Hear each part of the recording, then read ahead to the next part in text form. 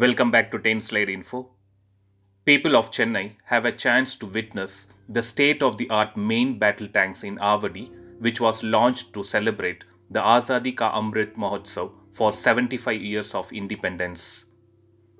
Defense Minister Rajnath Singh inaugurated several iconic events of the Department of Defense production virtually as part of the Ministry of Defense. The expo is hosted by Armoured Vehicles Nigam Limited, an ordnance clothing factory from December 13th to December 19, 2021 at Avadi, Chennai. The expo, held at Ajeya Stadium in the Heavy Vehicles Factory Estate, features Ajeya T72, Bhishma T90, Arjun Mark 1, and bridge layer tanks T72.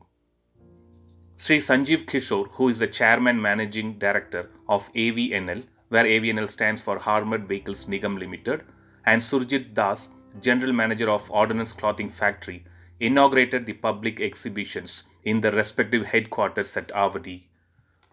Both the exhibitions are open for the public view till December 19, 2021. It's not just the tanks which were showcased during this particular expo, but the display also has various parts of main battle tanks like gearbox, engines, track wheels, the torsion bar, etc. In addition to this, Ordnance Clothing Factory Avadi launched its indigenously made bullet resistant helmet for the first time on this particular occasion. As per the sources, this helmet provides protection against 9mm bullets.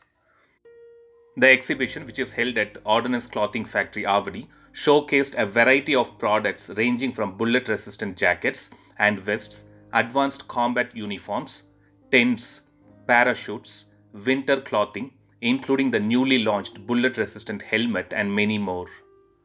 I'll be uploading another video with more details as the expo is going to be happening until 19th December 2021. Thanks for watching. Stay tuned to 10 Slide Info for more defense and aviation related updates. Thank you.